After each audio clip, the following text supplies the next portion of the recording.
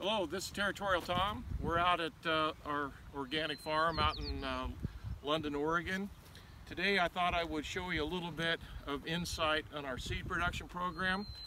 Uh, some people may not know that uh, Territorial Seed is actually its own largest seed supplier in many different categories and one of the programs that we have here at Territorial uh, that we're particularly fond of is our lettuce seed production.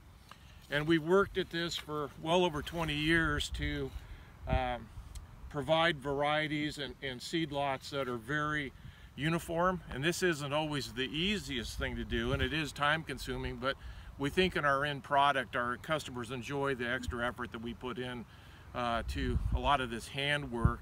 And uh, there's a lot of good, I think, craftsmanship that go into this from all of our staff.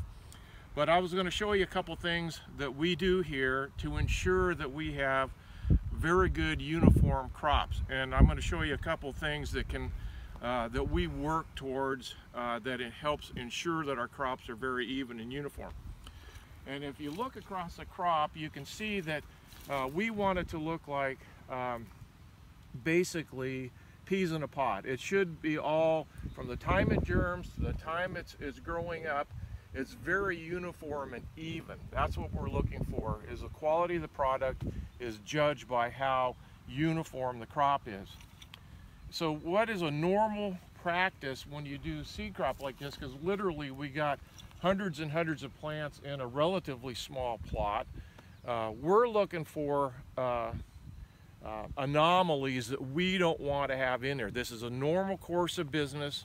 And it's one of the things that when we raise our own seed crops, uh, we feel really good about the fact that we can go in and take off types out and feel good about that. And when we start with crops, many times there's lots of different off types in these crops depending on where the original source of seed came from.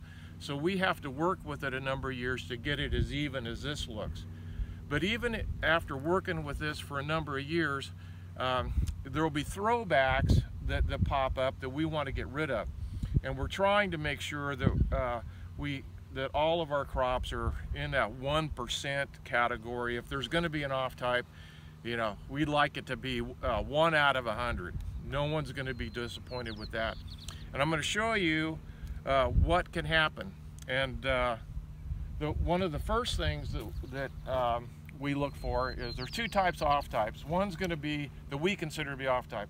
One is is so totally different than the rest of the crop that um, we don't want it to be in there at all because if we left it in there, the, the, when that plant throws seed, that's that plant's children, of course, and then that's going to be reproducing itself uh, in your garden, and it isn't going to be what we want you to have. So uh, here's an example over here as you can see, each row of these have probably 150 plants. Everything looks really good. Uh, as a percentage, of the numbers look good. But we get over in this row, and here's one that is obviously totally different. So uh, this one goes like that. It's not in the crop anymore. And it likely uh, probably came because it's so totally different.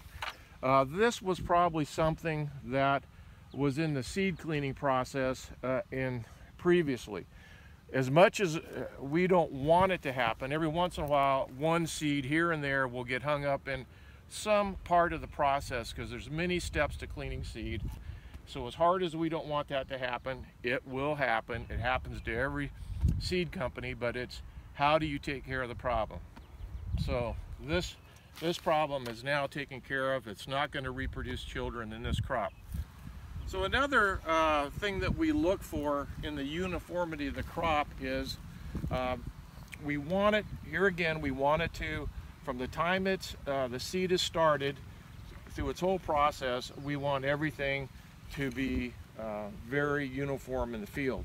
And once in a while, you're going to get a variety that wants to bolt early, not a variety, but an individual plant, I should say, that wants to go to seed early.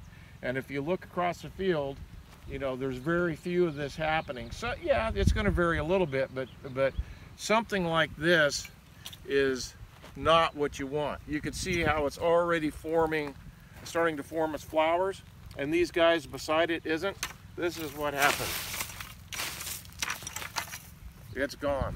And the reason we do that is we don't want, if, if we were to let that go ahead and set seed and we just harvested that, chances are the next generation is going to want to do the same thing and it starts to get variability in the crop. We do not want that to happen.